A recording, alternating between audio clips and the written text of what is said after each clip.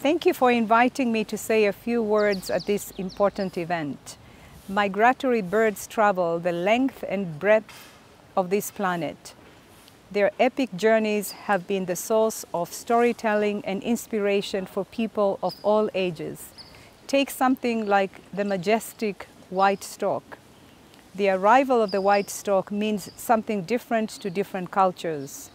From Poland to South Africa to the Middle East, its presence connects people and communities.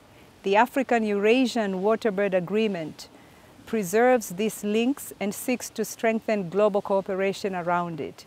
It is a powerful way we can connect and reconnect with nature.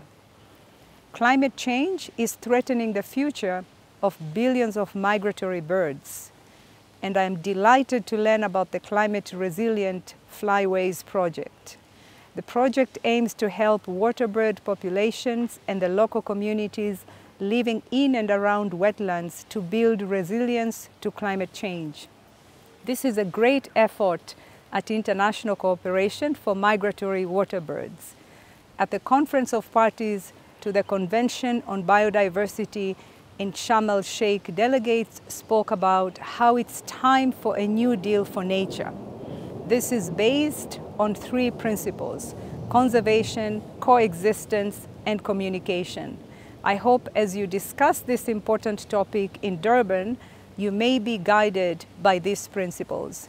The New Deal for Nature is a massive, unprecedented political movement for nature. It is about bringing everyone on board, set out a love for nature. And this is something African Eurasian Waterbird Agreement does so well. I wish you luck and look forward to hearing about the outcomes of this important event. Thank you.